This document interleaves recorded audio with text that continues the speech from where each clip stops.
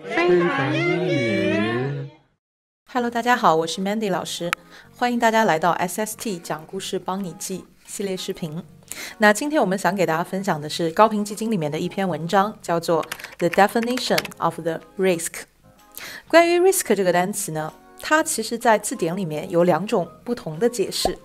首先，第一个解释呢，就是呃危险或者是损失的可能性，它是表示一种概率。啊，我们举一个简单的例子来讲，比如说，当我们在下雨天开车的时候，我们会觉得啊，这是一个很有风险的事情，啊，因为轮胎有可能会打滑，啊，有可能雨太大了，然后会遮挡我们的视线，所以呢，雨天开车它就是一个 risk。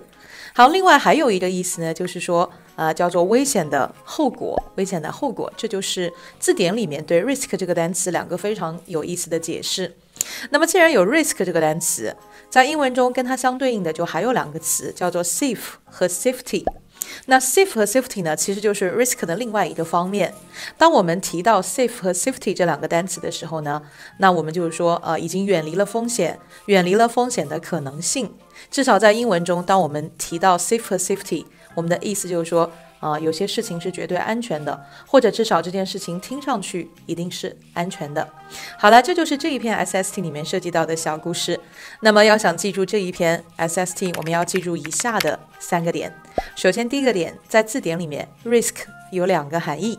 那第二个点就是分别告诉我们，一个含义叫做危险或者损失的可能性，另外一个含义就是危险的后果。那么第三个点呢，就是 safe 和 safety 在英文中呢，它一般表示什么事情是绝对安全的，或者说什么事情听上去是安全的。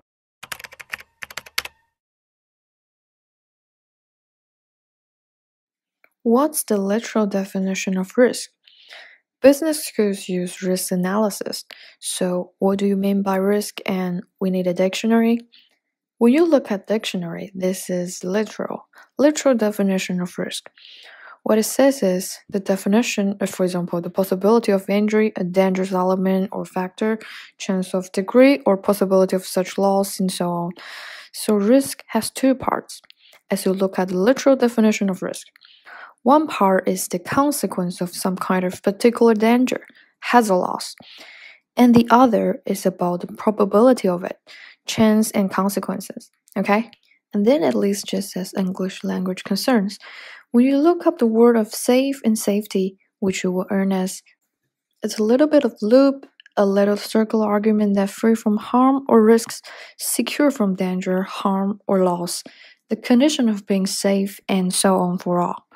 And why we take out of it. At least when we talk about safe, at least in English language, we're talking absolute something in safe or it sounds safe.